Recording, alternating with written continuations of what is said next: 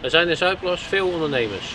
En met de groei van onze gemeente zal dit de komende jaren verder toenemen. ChristenUnie SGP wil ondernemers een duidelijk perspectief bieden.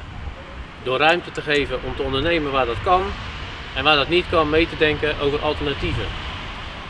Ook willen wij ons inzetten om de samenwerking tussen ondernemers en tussen ondernemers en de gemeente te verbeteren.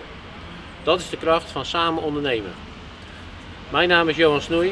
Ik ben 38 jaar, geboren en getogen in Nieuwekerk aan de IJssel. Ik ben getrouwd en vader van drie kinderen. Ik werk in het dagelijks leven als projectleider bij de Rekenkamer Utrecht. Ook zet ik me graag in voor de gemeente Zuidplas.